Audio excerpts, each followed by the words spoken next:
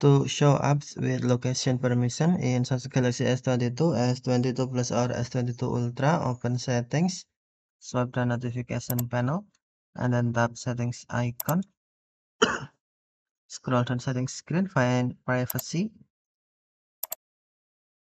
and then tap privacy. Tap permission manager, and then select location and then you can see apps with location permission in here. Apps with this permission can access this device location. If you want to change permission you can just tapping uh, apps you want for example Bixby voice and then select permission option you want. Allow all the time allow only while using the app as every time or don't allow Okay, thank you for watching. Have a nice day.